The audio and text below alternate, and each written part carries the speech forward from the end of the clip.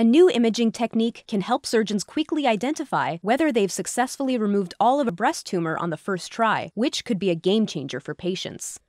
There's one clear goal for breast cancer surgery remove all of the tumor. Making sure that no cancer cells are left behind is key to avoiding disease recurrence. But a conservative approach is also important. Preserving healthy tissue around the edges of a tumor can make for better patient outcomes. The problem is that identifying a tumor's margins requires a lot of effort. The current approach is to remove the tumor and send it off to a pathologist for testing, a process that can take one to two weeks. If the pathologist finds that the surgery didn't remove all the tumor, additional surgery is needed. Reoperation rates for breast cancer can be as high as 40%.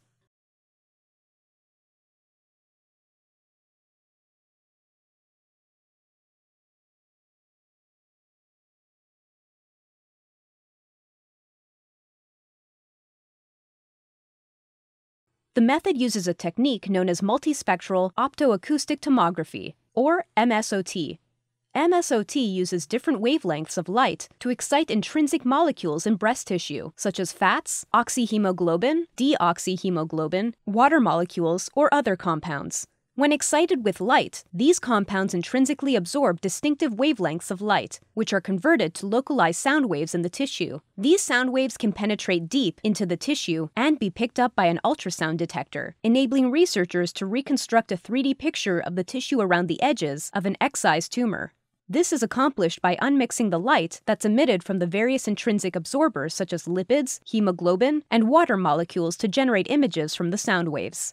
The team compared MSOT against traditional pathological examination following the surgical removal of a breast tumor. The imaging produced the same results as the pathology report in a fraction of the time. The technique has applications in any scenario where tumors need to be surgically removed. The researchers think it may even be possible to develop artificial intelligence networks that can assess tumor margins, taking human error out of the equation.